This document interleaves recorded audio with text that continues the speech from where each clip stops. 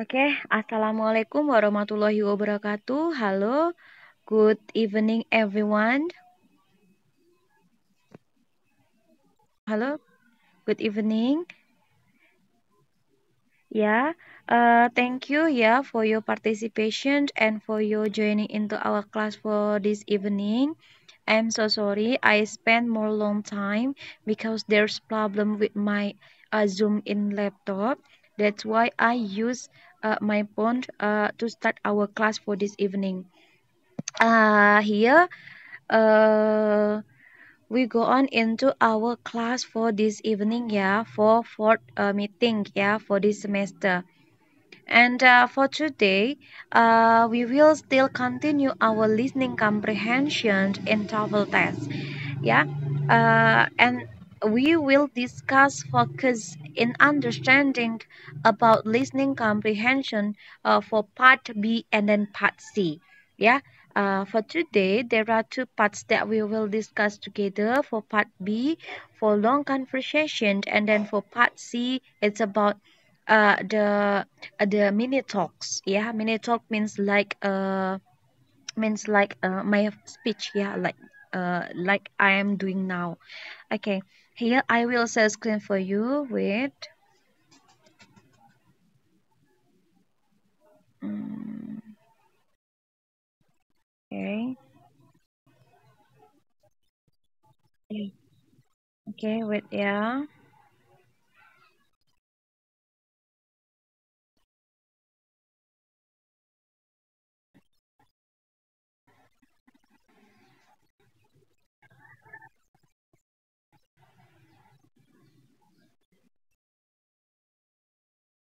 Okay, uh, here uh, we go on into the next part. Yeah, the next part is about the understanding long conversation for part B and part C. Yeah, as we know that uh, for TOEFL in uh, listening comprehension, yeah, uh, there are two more yeah for longer conversation for part B and then for part C about mini talks. Okay.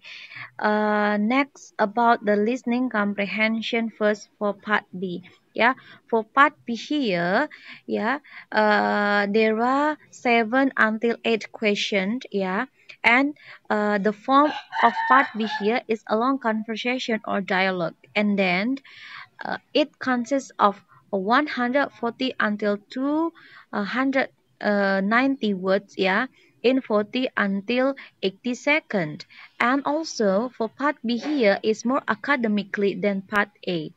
And there are some materials yeah that you uh, will find in part b. The first is about the history and then about knowledge and then organization and also for the number information and of course in part b there are some question word yeah that which is uh, used in part b. For example like the using of question word what how where why who and whom.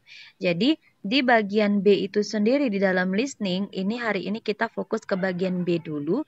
Bagian B di sini adalah berbentuk jenis kan uh, percakapan yang lebih panjang ya. Jadi ini masih sifatnya adalah dialog tapi dia lebih panjang untuk dari segi isinya. Dan biasanya untuk teks itu sendiri di dalam bagian B ini biasanya terdiri dari 140 hingga 290 kata ya yang wajib dijawab itu jika disajikan dalam waktu 40 hingga 80 detik. Dan sifat dari part B itu sendiri adalah bersifat lebih akademik jika kita bandingkan dengan part A. Dan ada beberapa materi yang biasanya sering muncul, yaitu yang pertama nanti adalah tentang sejarah. Yang kedua adalah tentang ilmu, tentang organisasi, ataupun informasi yang lain. Dan untuk question word itu sendiri biasanya menggunakan kata tanya apa, bagaimana, di mana, mengapa, siapa, dan dengan siapa ya.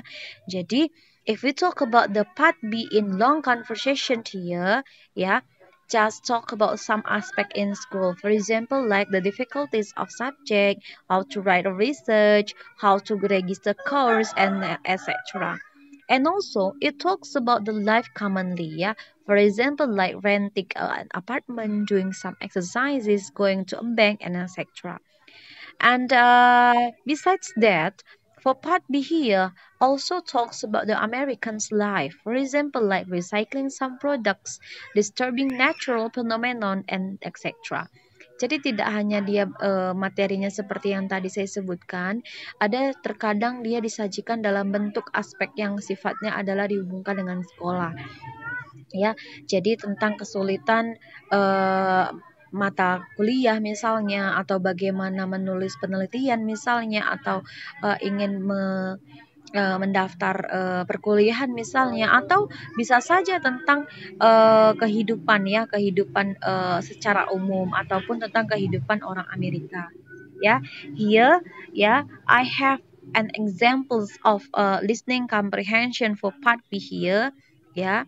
Uh, here there are two person for woman and man ya. Di sini ada satu contoh yang saya buat ini adalah uh, ada dua orang antara woman and man ya uh, I wanna saya mau uh, siapa yang saya tunjuk wait a minute I wanna Fasan okay Fasan as a man ya to read uh, the conversation and Amanda for the woman. Okay, Fasan and Amanda ya. Okay, wait a minute. I open it. Wait ya. Okay, this one. Okay, uh, for uh, for Amanda first ya, because here Amanda as a woman. Okay, narrator. Narrator is me. The question uh, for one true for ya untuk pertanyaan nomor 1 hingga nomor 4 listen to a conversation between two people who are decorating an apartment jadi silakan dengarkan percakapan di antara dua orang ini di mana mereka itu sedang mendekorasi sebuah apartemen Oke, okay, Amanda for woman and then Fasan for men. Oke, okay, thank you Amanda. Your turn now.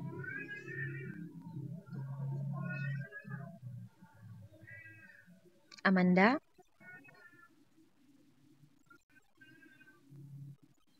Hello, Amanda. Can you hear me? Yes. Can you read this conversation for us? Okay, then.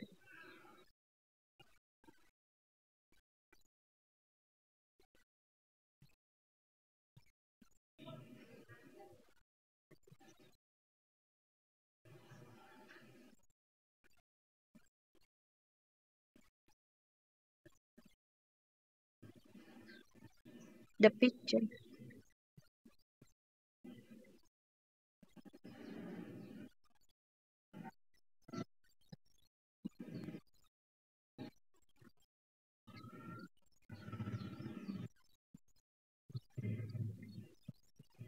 Okay, thank you. Actually, if we listened the conversation between Amanda and Fasan, uh, what do you think about this conversation? What are they talk about? Do you understand about this one, guys?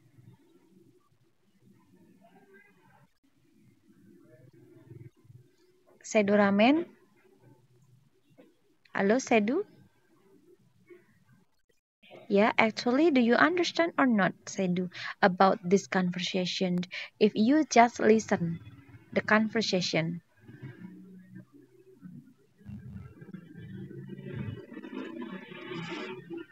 Do you understand?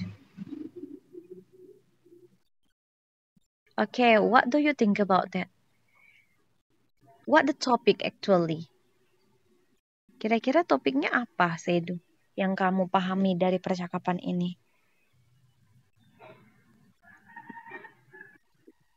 Uh -uh. Oke, okay, foto-foto di dinding. Kenapa dengan foto-foto di dinding?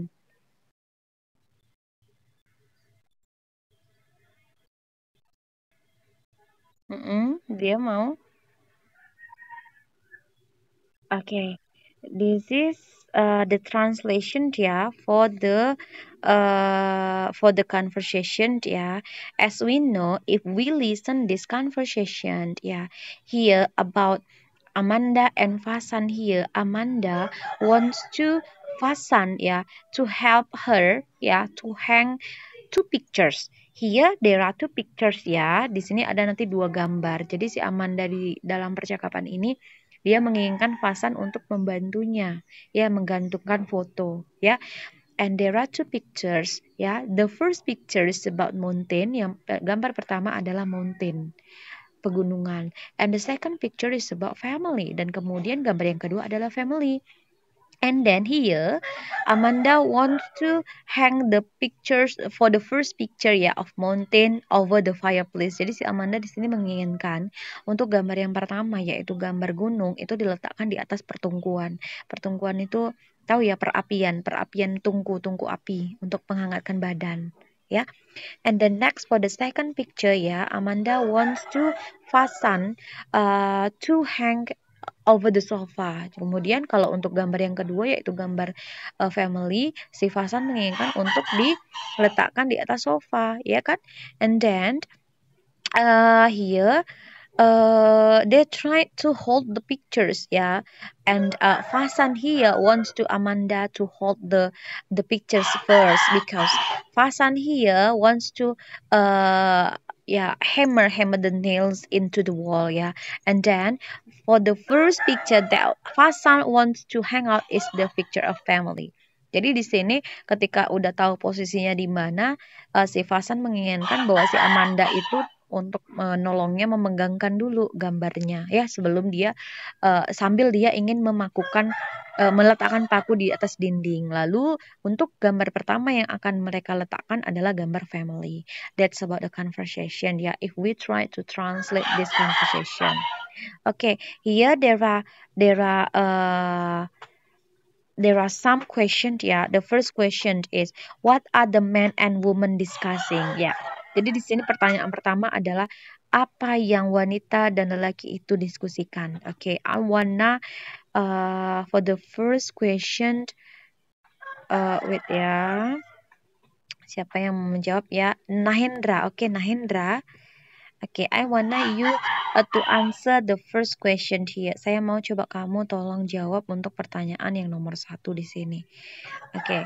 what are the men and women discussing A. Taking a rest B. Hanging some plants C. Taking a trip to the mountains D. Putting some pictures on the wall What is the answer for number one here? Nahendra Nahendra, kira-kira menurut kamu untuk soal nomor satu ini apa ya jawabannya? Okay, good. Thank you. Okay, the next one for number two. Okay. Wait ya. Okay, number two here. How many pictures are there? Ada berapa banyak gambar? Okay, Nahendra. One, two, three, or four?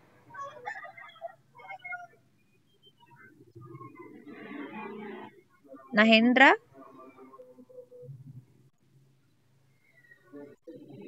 Ada berapa? Yes, two. Okay, good. The next, number three. Where is the pictures of the woman's family going? A. In the fireplace. B. Above the sofa. C. Home with wall. D. To the top of the mountain. Okay, Fasan, what's the answer for number three? Kira-kira gambar, ya? Yeah? Yes, B, above the sofa. We can know, yeah, the picture of my of, woman's family wants to hang above the sofa. Above here, yeah, actually is the same with over because in the uh, conversation, uh, there is the word of over, yeah, not above. But above and over are synonym together, yeah. Okay, thank you. And then the last question. What is Walt probably going to do the next? Okay. A. Sit on the sofa. B. Photograph Monica's family. C. Hammer the nails into the walls. D. Climb the walls. Okay. How this how uh the answer for number four here, Amanda? I want Amanda. Yeah. Okay, good. Hammer the nails into the wall. Okay, thank you. That's about the uh, part B. Okay, I think it's simple and it's easy for you. Yeah, that you must do. And for part B and part C, yeah, there is no some tricks and tips like uh, my explanation for last week. But here you must listen carefully about uh, what the speaker given in the audio okay? Try to listen carefully about the text yeah? Yeah? So that's why you can uh, answer uh, and uh, you can choose the best answer based on the question and answer uh, given okay? The next part is about part c yeah? Part c about talks okay about talks here uh same like my way uh, and i'm doing now yeah? When i when i'm explaining about this material actually i apply uh, i apply for the talks yeah? Talks here means like uh, you uh give uh something to the someone else yeah? Just you just want. And then uh for example uh like you give some speech okay? Uh, you give uh, mini mini talks yeah. Uh, and in that case yeah in the talks here uh, one one talks yeah one team yeah uh, you must answer for the same uh, question yeah the same like for part b. But in the part b uh, it's about the uh, long conversation. There are two. Meanwhile for the talks here just one person yeah uh, related to the talks here, yeah, there are some topics yeah. The first, yeah, like uh, the first uh, that you uh, maybe find in the uh, travel test, yeah, like some aspect of uh, life, some aspect of information, uh, or maybe uh, you can hear and listen about a lecturing yeah uh, in university for example or maybe you can uh, find some information about the other countries for example yeah. And then uh, from the long talks here yeah uh, there will give, be given in some questions in the same theme. Okay? Uh, jadi kalau nanti dikaitkan dengan talks di sini, jadi seperti dia memberikan sebuah pidato, sebuah omongan kepada orang lain dan yang berbicara itu nanti adalah hanya satu orang ya.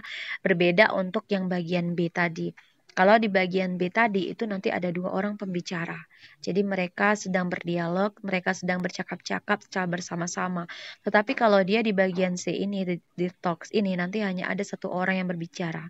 Jadi, untuk kunci di bagian B dengan bagian C itu tidak seperti bagian E kemarin. Jika di bagian E kemarin ada beberapa tips ya dan trik-trik yang harus memang kalian kuasai. Namun di dalam bagian B dengan bagian C, kalian memang benar-benar harus mendengarkan apa yang diberikan uh, speaker terhadap audio yang diberikan. Jadi memang benar-benar kalian harus bisa memahami apa yang mereka ungkapkan di dalam uh, pembicaraan yang kalian dengarkan gitu. Okay, here uh, there is a, an examples yeah about uh, part C, part C here about minute talks. Okay, uh, here I'll try to read for you. Yeah, uh, for question number one through five. The four, sorry, listen to a lecture in a history class. Jadi untuk pertanyaan nomor satu hingga nomor empat nantinya, coba kalian dengarkan. Ini adalah penjelasan di dalam kelas sejarah ya. Uh, this is about salt. Oke, okay, ini adalah tentang garam ya. Salt, which today seems so plentiful for us to us, in the past used to be a valuable commodity. In the ancient past in China, Salt were used to make coins, and in parts of Africa it was traded in the place of money. In the Roman Empire, soldiers were not paid in money, but were instead paid in salt. In fact, the English word salary, which means the amount of money that one earns, comes from the Latin root for salt. Jadi seperti yang kita ketahui kalau berbicara untuk salt ya, I'll try to explain about the about the translation of these uh, talks ya. Uh, yang seperti yang kita ketahui bahwasanya yang kita ketahui garam itu kalau zaman sekarang itu benar-benar sudah hal yang lumrah, sudah benar-benar banyak yang melimpah ruah di di kehidupan kita. Jadi dulunya di masa dulu, garam ini adalah benda yang sangat berharga. Kenapa dikatakan berharga? Karena di masa lalu, ketika zaman kuno itu ya, khususnya di Tiongkok, di Cina ya, garam itu uh, digunakan untuk membuat koin ya. Jadi, tapi tidak hanya di China, di beberapa bagian Afrika juga garam itu uh, digunakan untuk sebagai pengganti uang, pengganti alat pembayaran. Nah, hal ini sama dengan di zaman uh, Kaisaran Romawi ya. Jadi dulunya tentara itu itu tidak pernah digaji atau dibayar dengan uang, namun dibayar yaitu dengan garam. Nah, oleh karena itu kamu selama ini tahu arti salary. Salary jika kita artikan dalam bahasa Inggris adalah artinya gaji ya. Jadi kata salary itu sebenarnya jadi kata salary itu adalah sebenarnya itu berasal dari bahasa Inggris, ya. Bahasa Inggris apa? Yaitu bahasa Inggris uh, yang berarti jumlah yang diterima oleh orang. Jadi, jika dikaitkan dengan bahasa Latin, salary itu awalnya adalah berasal dari kata salt, garam. Kenapa? Karena dulu garamnya, garam ini adalah digunakan sebagai alat pembayaran gitu. Jadi celery, sal itu berasal dari kata salt yaitu garam. Itu adalah sejarah tentang garam. Betapa pentingnya garam itu di era zaman kuno dulu. Okay, that's the point. Oke, okay, for number one here. What is the topic of the talk? Oke, okay, kira-kira topiknya tentang apa?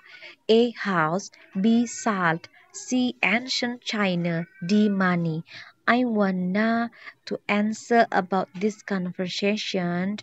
Saya mau yang menjawab untuk soal di nomor ini adalah sebentar ya. Uh, Arjuna, where is Arjuna? I can't see your face now here. Arjuna. Arjuna not here. Okay, for number one, Sedurame. Number two, Fasa. Number three, Amanda. Number four, Nahendra. Okay, Seduramen first.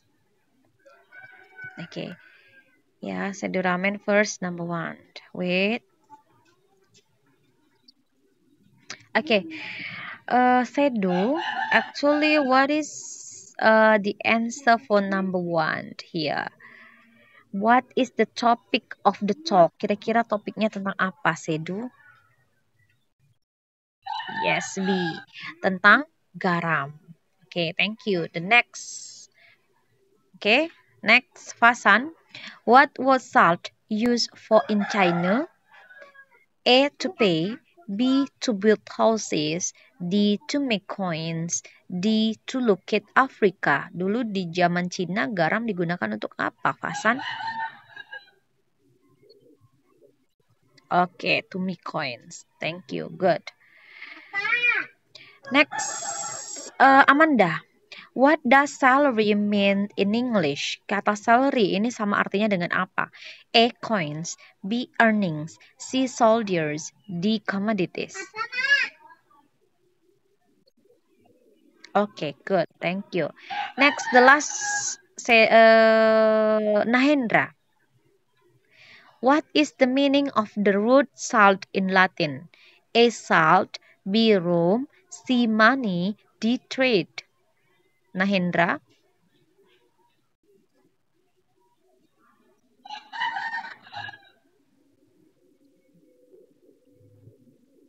Hmm? What's the answer? Yes, A, about salt ya. Salt ini berasal dari kata salt yang berarti adalah garam. Yang dulunya garam adalah digunakan untuk alat pembayaran. Oke, okay, that's all about my explanation for listening comprehension here. Oke, okay, itu saja untuk penjelasan saya di bagian listening comprehension. Uh, actually, do you do you uh, have a question for me? Any question, guys?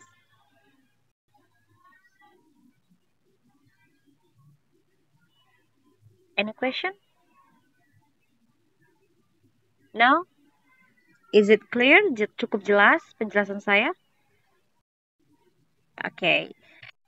yeah if you don't have any question yeah uh, in conclusion uh, in conclusion i uh, i wanna you practice yeah by yourself yeah uh, about listening comprehension because without practice you cannot know yeah. You cannot know you don't uh yeah you can not you don't. You can't answer the question in listening comprehension correctly. Jadi intinya adalah banyak-banyak praktis oke okay? uh, I think it's better if you can check our tasks ya in listening comprehension there are some uh, some practice for you. Itu nanti tolong kamu cek itu ada banyak praktis ya. Saya rasa itu lebih bagus untuk kamu to practice by yourself ya. Uh, about uh, this one. Uh, for next week untuk minggu depan we will make uh, the presentation class ya. Nanti untuk minggu depan uh, nanti kita akan adakan kelas presentasi. And then uh, for the uh, for the groups I will divide you into some groups. Nanti akan saya bagi kalian ke dalam beberapa grup ya di kelas presentasi. Uh, it's about the grammar. Nanti itu adalah tentang grammar tata bahasa ya in TOEFL ya. Start from uh, meeting 5 until meeting 14 jadi nanti kita adakan di grammar itu dari start pertemuan ke Mm, kelima sehingga ke belas ya. We will do presentation class by you, okay, in Zoom meeting, okay, in every week. So one week one group. Oke, jadi nanti kita adakan setiap minggunya untuk satu kelompok itu satu minggu. Jadi per kelompoknya nanti temanya beda-beda, nanti akan saya berikan, akan saya bagi, and I will uh, send it uh, in our Google Classroom. Okay, any question so far? Ada pertanyaan?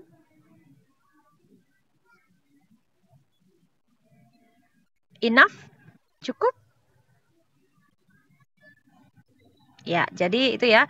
Mulai minggu depan kita masuk grammar, listening comprehension sudah selesai, masuk ke grammar hingga pertemuan ke ke-14. Ke-15 nanti reading. Oke, berarti untuk minggu depan akan saya bagi nanti untuk kelas presentasinya. Jadi nanti kita wajib melakukan Zoom meeting seperti ini di dalam hmm, kelas online kita. Lalu kamu buat slide, kamu jelaskan materinya, harus ada tanya jawab di dalam tanya jawab di dalam kelas ya. Lalu nanti materi modulnya saya berikan. Pembagian kelompok juga saya berikan. Jadi satu minggu satu kelompok. Dimulai dari kelompok pertama minggu depan. Oke? Okay?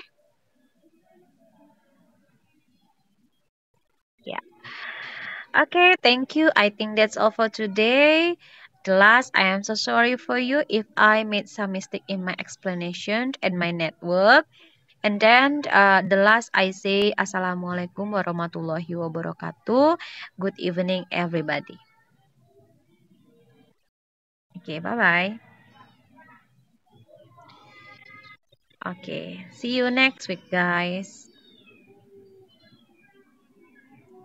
Oke, yang datang hanya Fasan, Sedu, Metodius, RAD, Amanda, Harsyad, Nahendra, Arjun dengan Arjuna ya. Oke, nanti saya isi isi akadnya. Silakan kalian uh, isi presensi di uh, Google Classroom, kemudian cek taksnya. The last I say, Assalamualaikum, bye. Bye. I close our class ya. Thank you. Bye bye.